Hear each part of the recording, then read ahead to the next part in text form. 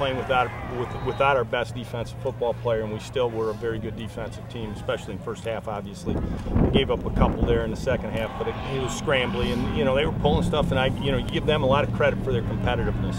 They didn't, you know, it's 38-7 at the half. They didn't weren't going home. They were here to keep competing.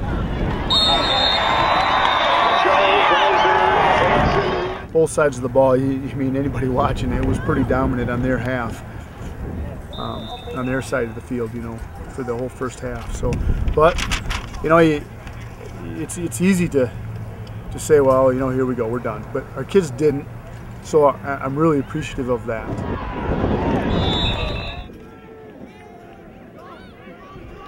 I really thought it in the first quarter. I thought we had to work for everything we got, and then I thought second quarter we started hitting a couple things. When Brad hit the long trap, that made a difference.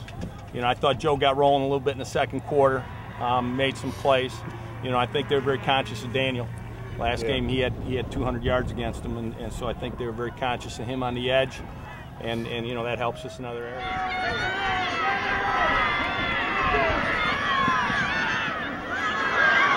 It's hard sometimes to, to go in and think, well, we're going to see if we can battle back, and you know, and they didn't quit.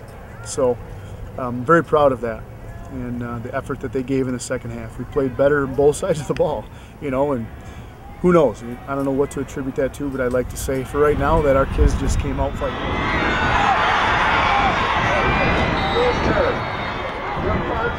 Just work for the field, and, and you know sometimes that's a good way to play.